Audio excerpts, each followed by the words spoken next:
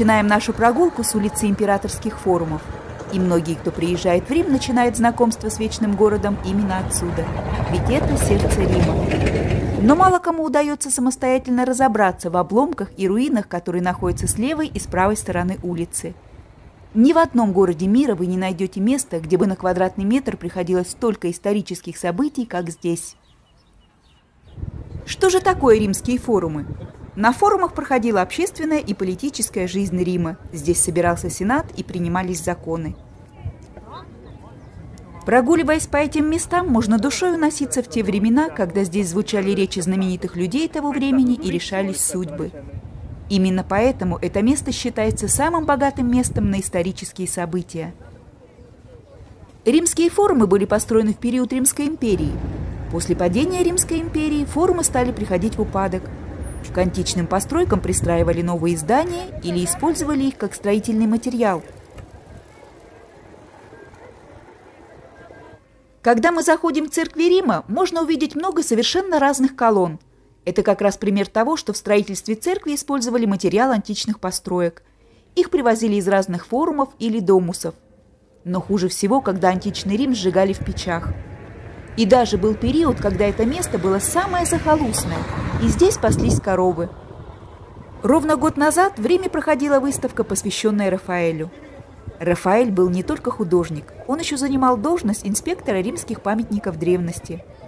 Он спас от разрушения огромное множество античных построек, которые сжигали в печах для получения извести из мрамора.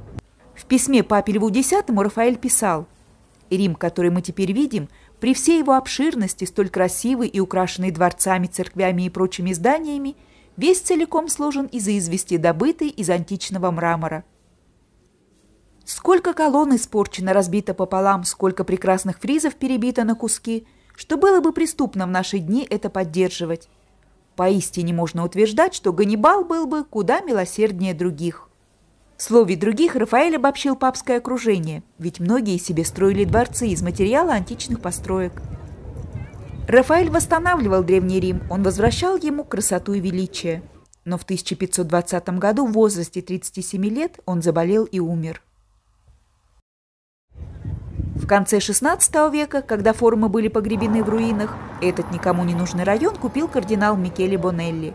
Его еще называли Александровский кардинал – на античных римских руинах он построил целый район, получивший название район Алессандрино. Этот район был заселен с конца XVI века вплоть до XX. Ну а потом, во времена правления Муссолини, это было между 1924 и 1932 годами, его сравняли с землей для того, чтобы сделать на этом месте широкий проспект, который бы соединял Колизей и площадь Венеция – а пока прокладывали дорогу, с правой и с левой стороны проводили раскопки, в результате которых и были обнаружены остатки римских форумов. Сейчас можно увидеть руины от форума Цезаря, форума Августа, форума Нервы, Трояна, а также можно увидеть руины храма Мира. А вот от района Алессандрина осталось только название улицы – Виа Алессандрина –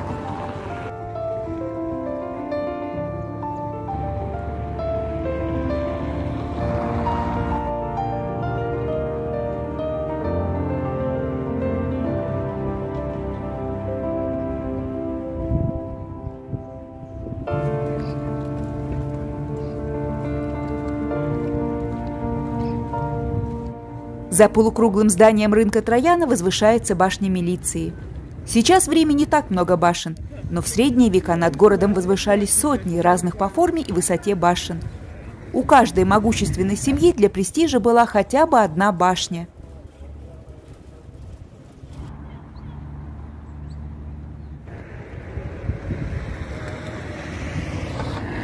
Статуи императоров подсказывают нам, у какого форума мы сейчас находимся – это император Троян, а за ним находятся остатки его форума, дошедшие до наших дней. Возведение форума началось в 106 году нашей эры и продлилось почти 7 лет. Император не скупился на расходы. Он пригласил к себе величайшего архитектора того времени, доверив ему проект комплекса. Для строительства форума Трояна были счищены склоны двух холмов – Кверинала и Капитолийского холма. Форум Трояна поражал своим размахом и богатством колонн.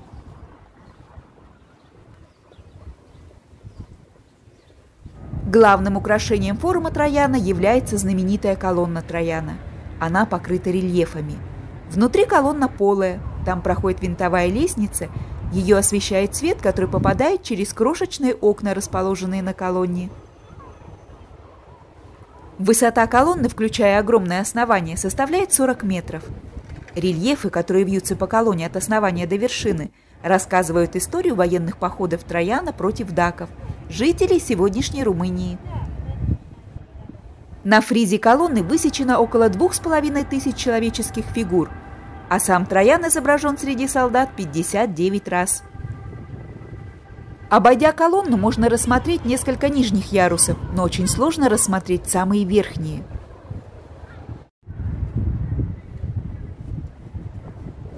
Колонну Трояна венчает статуя Святого Петра и небольшая смотровая площадка. Эта статуя была поставлена в конце XVI века, а до этого, конечно же, стояла статуя императора Трояна, которая была утеряна. В античные времена рельеф колонны был окрашен в разные цвета. Сейчас обнаружить следы от краски почти невозможно.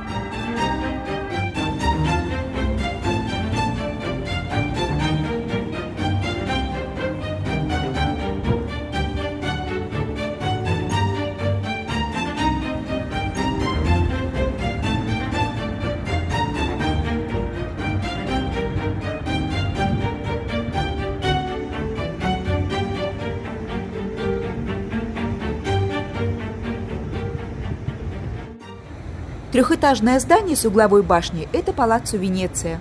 С балкона этого здания Муссолини произносил речи. А здание напротив было построено, чтобы завершить форму площади. Для этого пришлось снести средневековые здания. Под снос попал и дом, в котором жил Микеланджело. Сейчас на этом здании висит табличка, напоминающая об этом. А элементы внешней части дома перенесли на холм Яникул, где он сейчас и находится –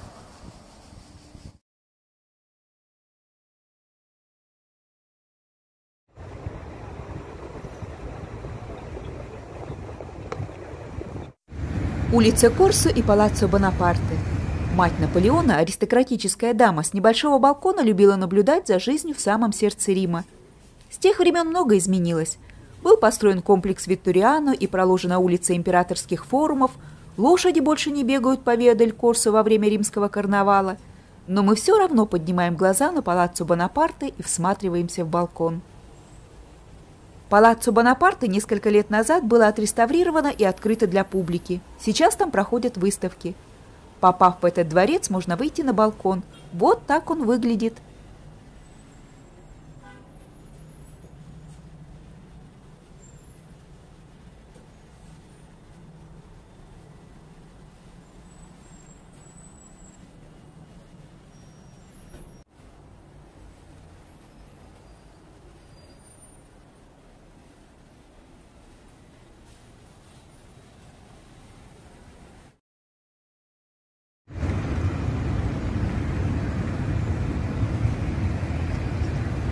На площади Венеция возвышается гигантский памятник, который трудно не заметить. Это комплекс Витториано.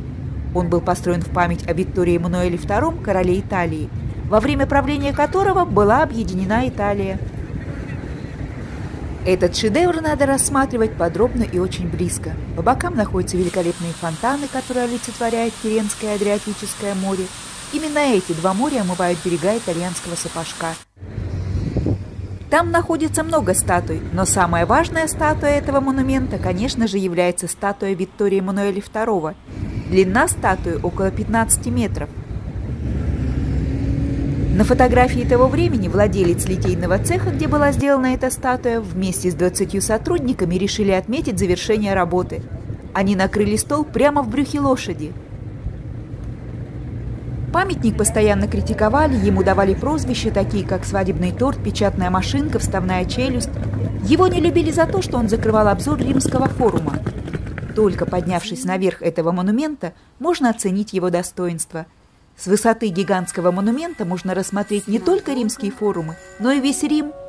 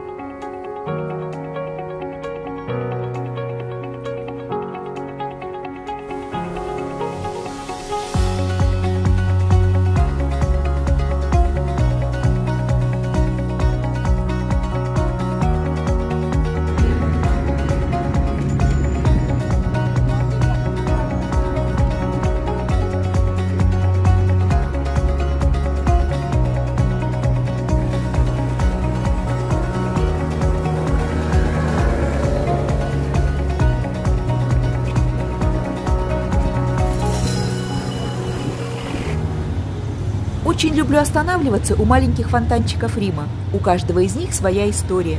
Это еще один говорящий фонтан, на котором народ до сих пор вывешивает записки со своими недовольствами.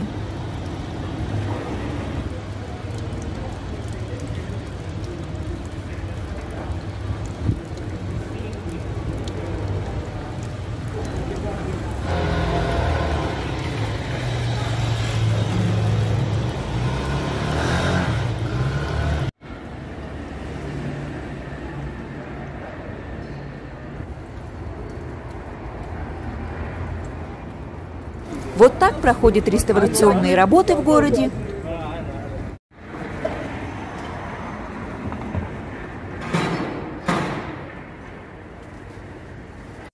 На площади Пьяцца Ди Пьетро мы видим гигантские остатки фасада Большого храма. Он был посвящен императору Адриану, а возвел его в 145 году нашей эры его приемный сын император Антонин Пий. Храм стоял на четырехметровом подиуме, остатки которого мы видим внизу храм вела широкая лестница.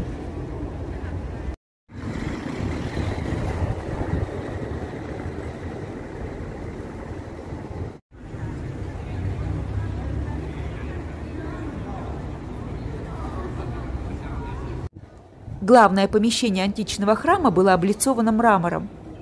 Отверстия, которые мы видим на стене, как раз и были сделаны для крепления мраморных плит – конце 17 века колонны и подиум храма Адриана были включены в новое здание, где была размещена таможня Ватикана. Сейчас это здание занимает штаб-квартира фондовой биржи. А в капиталистских музеях находятся рельефы, которые украшали храм Адриана –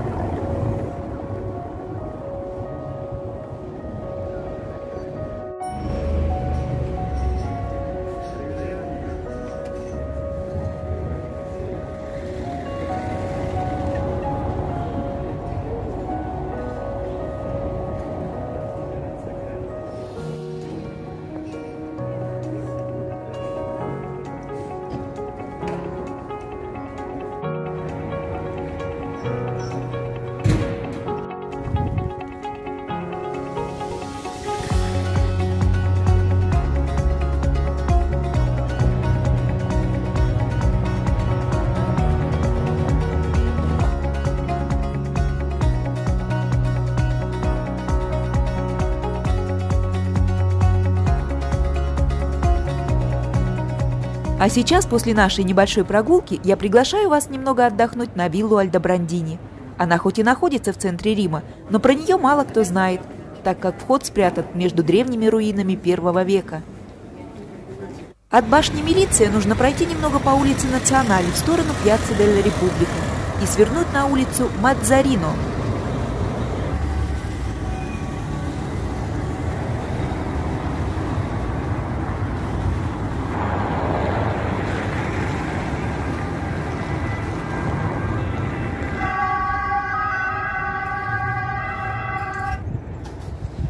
По крутой лестнице, которая зажата между древними руинами, поднимаемся на самый верх.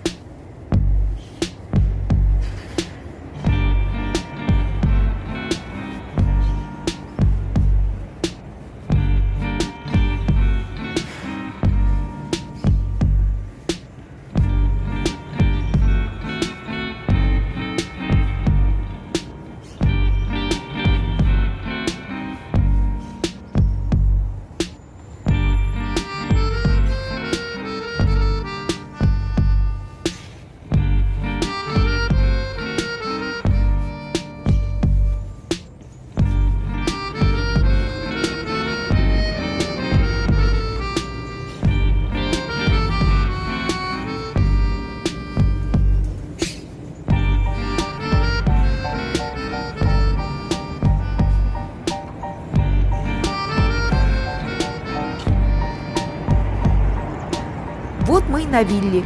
С высоты можно увидеть улицу Национали. Она была проложена в Риме после объединения Италии в 1870 году. С высоты этой виллы открываются прекрасные виды на Рим.